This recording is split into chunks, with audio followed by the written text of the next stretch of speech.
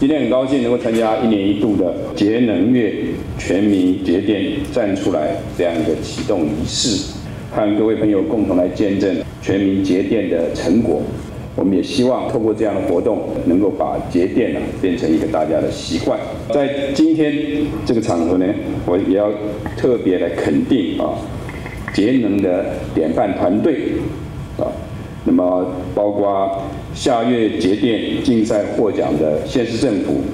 产业节能的标杆代表，还有职工团体，大家在过去这一年来啊，在节电这件工作上所做出来的这个。呃，努力跟贡献，我们台湾的能源啊，百分之九十八都依赖进口，所以在电力的供给方面，可以讲是一个很严苛的一个挑战。所以呢，从现在往前看，啊，我们大家在电源的供给方面，我们的要求标准越来越严格。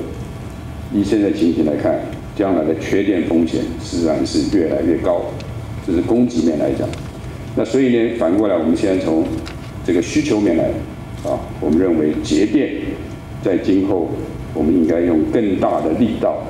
啊来做好这件事情。我们每年呢，大概都会希望我们国家经济成长率有两趴、三趴啊，甚至四趴的成长啊。那么用电的成长，只要经济在成长的话，用电啊。如果我们不改变行为模式的话，用电是一定啊会成比例的成长，不见得是跟经济成长率完全数值上相同，大概通常稍微稍微减少一点，但是它仍然是会持续成长，只要经济成长的话。那么，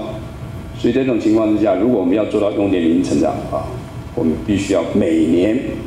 把成长出来那个量，要透过节电把它省下来。啊，把它省下来。当然，我们也知道，有时候节电呢，越往下节越难节了。那所以呢，就是在这些地方，我们今年呢，就特别试试看，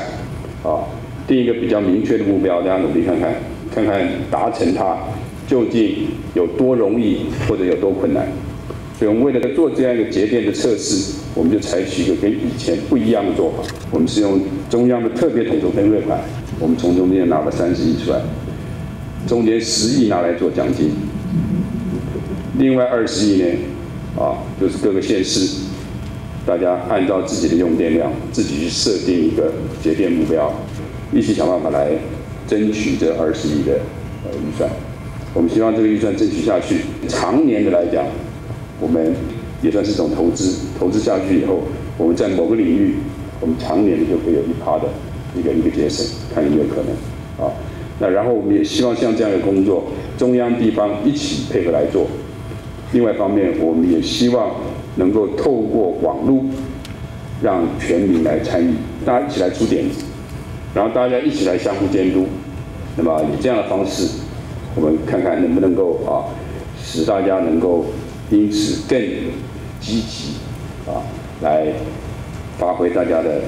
想象力跟执行力。因为这个工作是要落实到每一个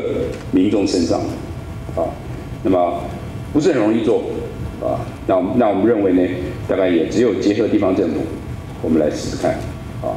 那么看看就是说从节电这一头下手，我们将来对于克服潜在可能的缺电风险，啊，那我们从节电这边我们可以啊做出多少贡献来？所以我想接下来就是我们大家一起。要付诸行动的时候，今年可以讲是很重要的一个示范年度。有别过去我们做出一点成绩，我们希望透过这样一个这样一个计划的推出，让大家可以用更大的力道啊，把我们所有节电的潜能都把它发挥出来。那另外呢，我也要借今天这个机会啊，来宣布说，从今年开始，我们每年六月作为我们的节能月。用这样节能月这样一个概念呢，来提醒大家，节能工作应该要融入生活，要把节能变成是我们的生活习惯，啊，变成我们日常的啊这个思考方法，啊，跟这个生活的一种态度，啊，所以所以我想，我们在这边是以这样一个目标，大家来共同相互勉励，我们也。预祝啊，今年我们推出来的智慧节电计划，自己的电自己省这个计划，在全民参与的情形之下，我们到明年四月份，我们可以有很丰硕的成果可以来验收，好不好？在这边，这个也祝福大家，谢谢大家。三、二、一，起启动。